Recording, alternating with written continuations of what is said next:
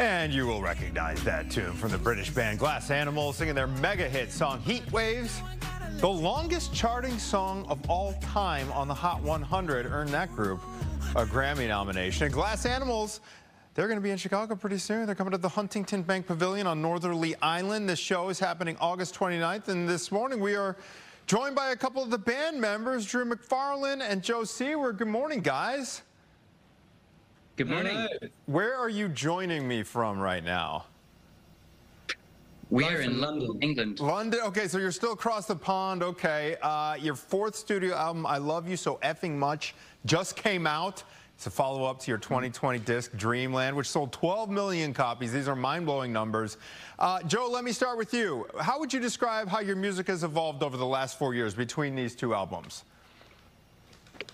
I think it's evolved a lot, actually. This um, this new record we've made is uh, is a series of love songs, um, but it's sort of set in space. Interestingly, yeah. um, and yeah, it's a kind of slightly uh, slightly new direction for us, but it's really exciting, and we're very proud to have it out in the world now. Uh, so so exciting, Drew. You have been to Chicago before. You played Lolla back in 2022.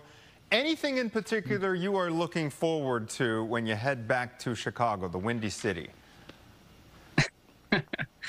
I think it's just being able to connect with fans again, to bring this album that we spent so long perfecting into the studio, to play it live to people, and with all the spontaneity and chaos that that brings, I can't wait. It's such a cool venue to see a show. Now, um, Joe, are you going to be, in terms of the, the live performance, are you going to play the new disc or give everyone a kind of a sampling of some of the classics we've all come to know and love?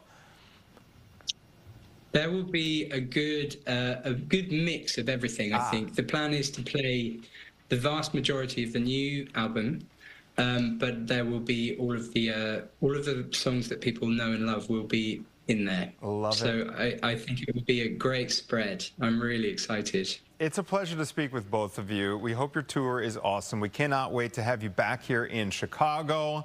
Again, this show, thank you both. Uh, this show is happening on August 29th. Tickets still available. Go to glassanimals.com and uh, check that out. It's an unbelievable uh, venue to see a show. We thank you both, gentlemen, and safe travels to you.